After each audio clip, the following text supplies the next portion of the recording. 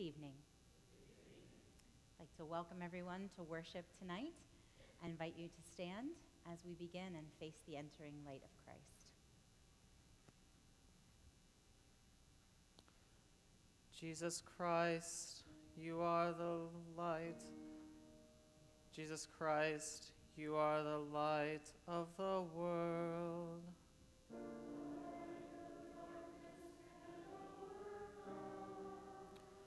Stay with us now, for it is evening.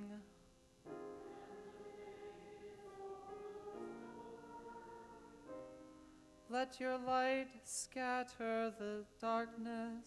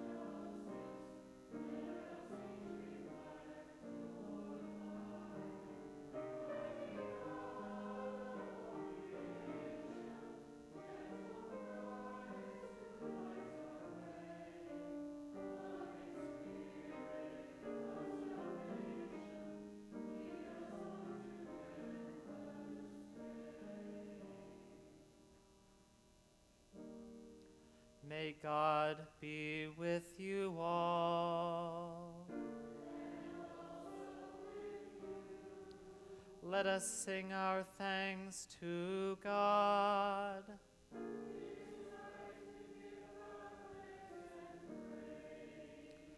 Blessed are you, Creator of the universe. From old you have led your people by night and day. May the light of your Christ make our darkness bright. For your word and your presence are the light of our pathways, and you are the light and life of all creation.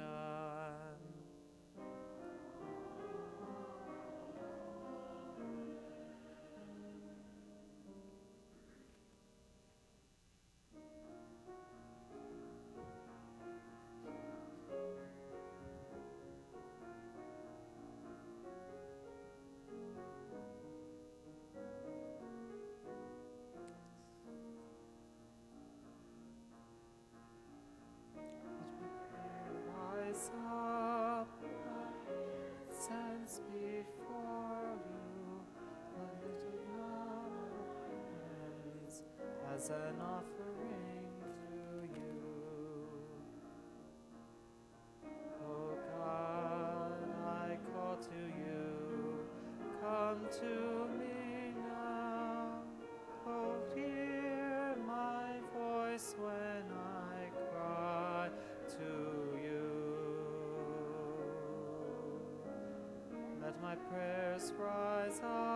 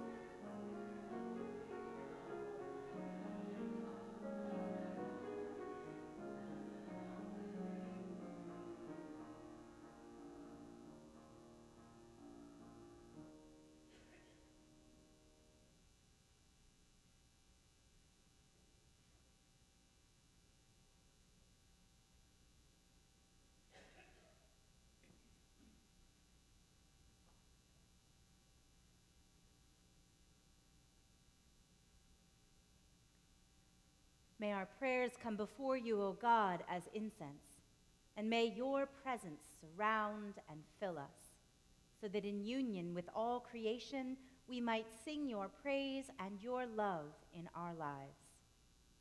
Amen. A reading from Luke. Two others also, who were criminals, were led away to be put to death with Jesus. When they came to the place that is called the skull, they crucified Jesus there with the criminals, one on his right and one on his left. Then Jesus said, Father, forgive them, for they do not know what they are doing.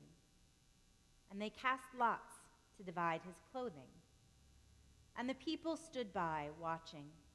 But the leaders scoffed at him, saying, He saved others. Let him save himself if he is the Messiah of God, his chosen one. The soldiers also mocked him, coming up and offering him sour wine and saying, If you are the king of the Jews, save yourself. There was also an inscription over him This is the king of the Jews. One of the criminals who were hanged there kept deriding him and saying, Are you not the Messiah? Save yourself and us. But the other rebuked him, saying, Do you not fear God, since you are under the same sentence of condemnation? And we indeed have been condemned justly, for we are getting what we deserve for our deeds.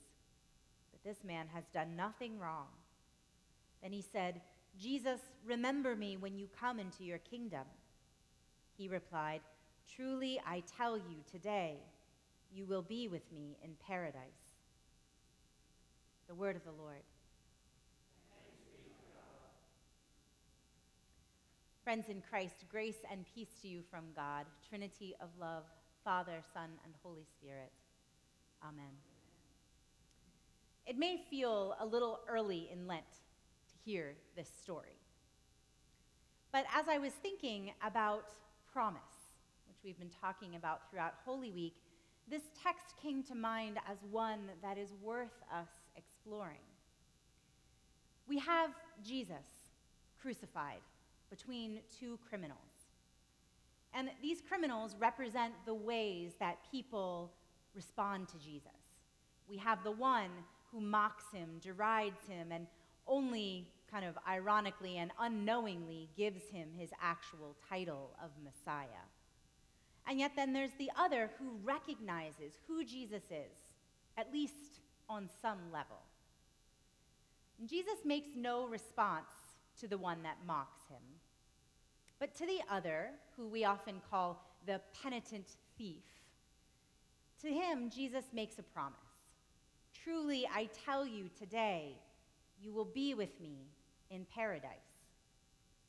It's worth noting, just kind of incidentally, there, that there are no commas in the original texts. And so there's some disagreement as to whether that is truly, I tell you, today you will be with me in paradise, or truly, I tell you, today you will be with me in paradise.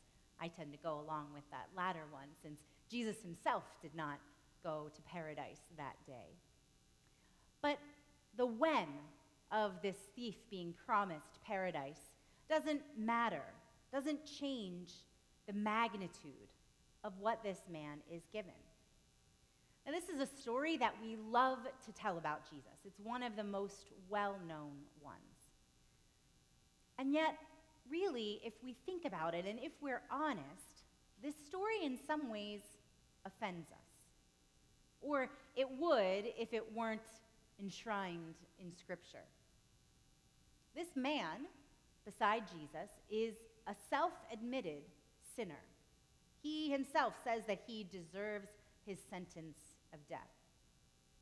And so we have these three little sentences tacked on at the end of his life, and that's enough. Can you really have a deathbed conversion? People have asked me that a number of times. You know, really, at the end of your life, you can just say, I believe, Jesus, forgive me, and that's enough? Does it count after a life of sin, even maybe unrepentant sin? as much as we like to talk about grace, we really want to be able to cooperate with it. We want some of it to be able to be our effort. The idea that salvation is entirely grace, entirely a free gift, without at least a little work on our part, on human beings' part, can be really tough for us to accept, to really wrap our minds around. I mean, how often do people say that they are sure that someone is in heaven because they were a good person? They lived a good life. Or how often do we say that being Christian, being a Christian, is largely about being a good person? We're often pretty sure, or at least hopeful, that living right gives us a better shot at salvation than people who don't, who choose not to. If asking for forgiveness at the last minute is enough, well, then how is that fair, right? To all of the people who spend their whole lives, and many of us might count ourselves among them, trying to do the right thing, trying to be good, or if not their whole lives, at least some part of it more than the last minute. The story at its base is not fair, and that offends us. And we don't even know if this man's repentance was real. He doesn't actually say he feels sorry for what he did, he just admits that he's a sinner. And he has some recognition that Jesus can give him the help that he wants. And so there's this plea for help when Jesus comes into his kingdom, whatever that might mean. And yet Jesus chooses to offer him everything, or not even offer, he just promises it to him. The power here rests entirely with Jesus. When he speaks salvation to this man, and not only to him, it becomes reality. We see that earlier in the Gospel of Luke with the story of Zacchaeus. And Jesus announces, Today, salvation has come to this house. And then he adds, For the Son of Man came to seek out and save the lost. He lavishes on this thief more than the man asks for, and something he can never earn, not in any way. This comes right after Jesus had even thrown forgiveness over all of the people there who were his murderers, his torturers. This is the God that we have to do with. Lent can sometimes be a time of mighty striving, right? We choose our disciplines, our fasts, our prayers, and we work really hard at keeping them perhaps more than at any other time of year. And if we are successful, we might feel especially holy, that in this holy time we are doing what is required of us, maybe even going above and beyond. Or if we are not successful, if we have not kept to the promises we made, if we never got around to making our promise of a discipline or we have broken what we promised, we may feel especially sinful in this time, especially hopeless that we couldn't do what we had meant to do. And so it's important for us in this time to hear this promise, which is for us too. And this promise, it takes away before it gives. It takes away our self reliance, our sense of being better than anyone else takes away our control over our own salvation. What we do amounts to nothing. It is entirely Jesus to give to whomever he chooses. But what the promise then gives us is far greater than what it takes away. It gives us assurance of Jesus' power, his love, his mercy to grant life to hopeless, good as dead sinners which, like it or not, is what we are. Jesus came to seek out and to save the lost. And so we are never unsavable, never beyond the reach of God's love. All we need, all it takes, is Jesus' promise. We trust it, trust Him. And we can close our eyes at the end of the day or at the end of our life, knowing that it is enough.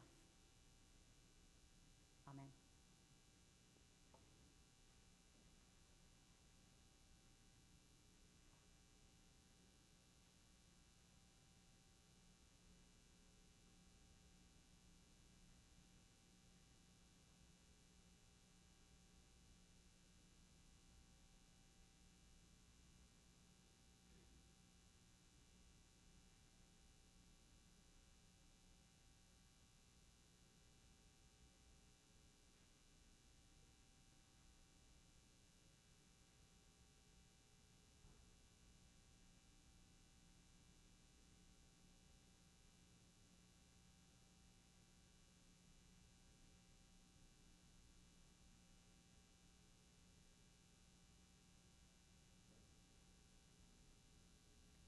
The light shines in the darkness.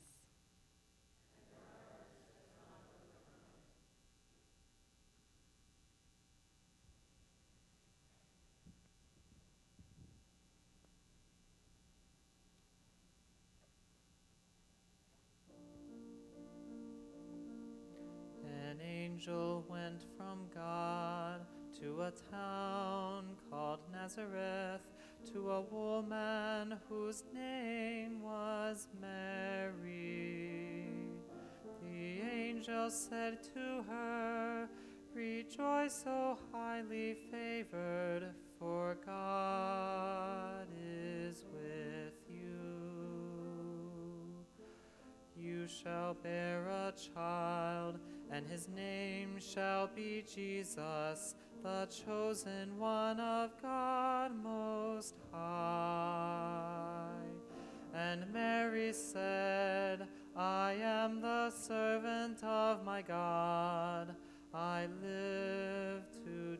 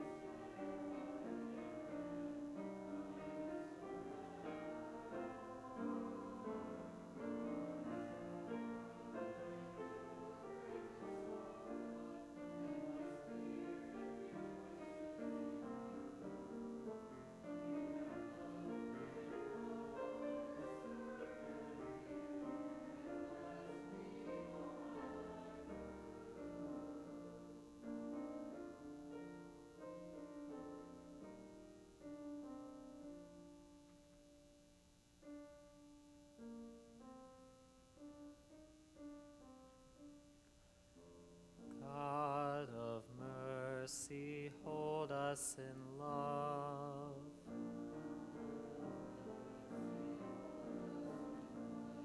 In peace, in peace, we pray to you.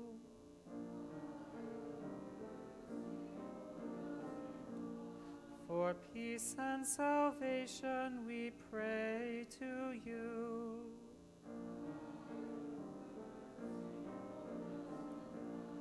For peace between nations, for peace between peoples. For us who are gathered to worship and praise you.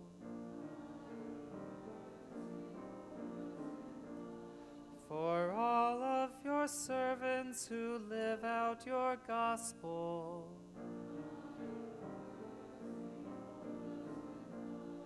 For all those who govern, that justice might guide them.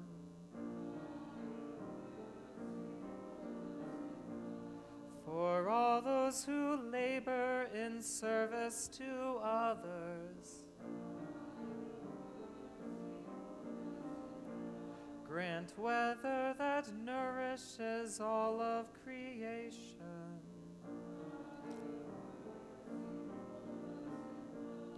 Keep watch on our loved ones and keep us from danger.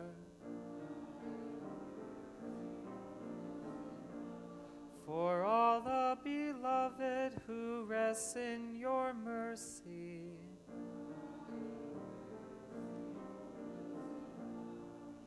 Help us, comfort us all of your ways.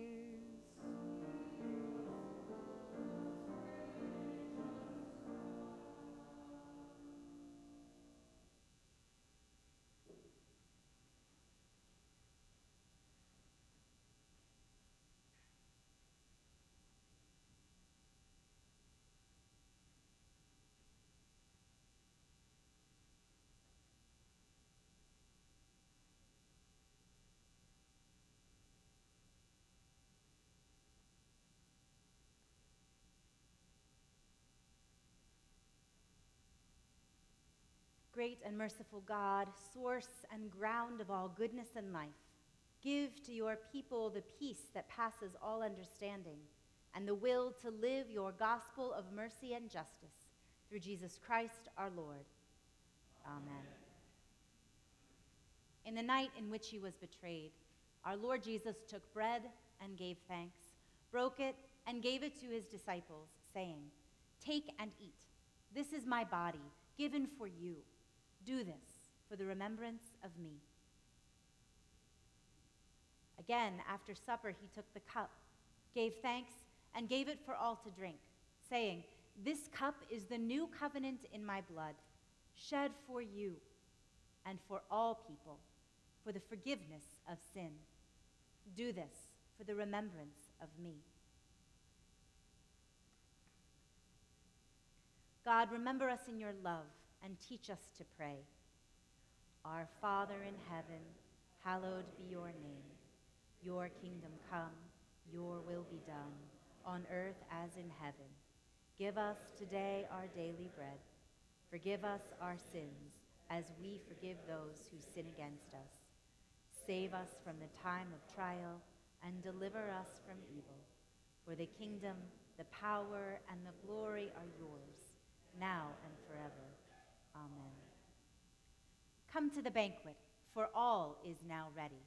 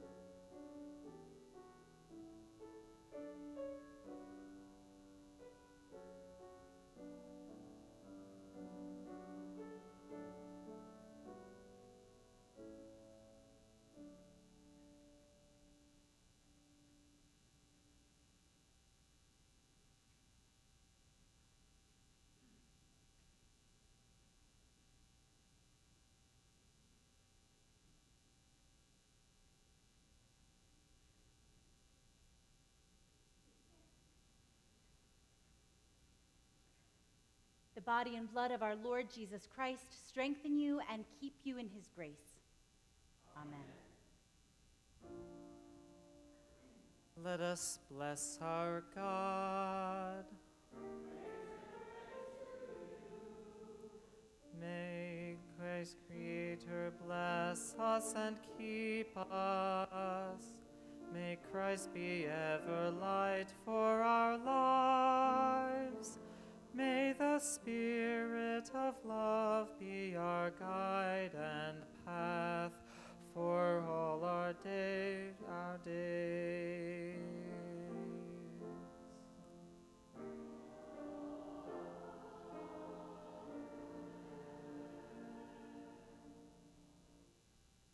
The peace of Christ be with you all. Let's share a sign of Christ's peace with one another tonight.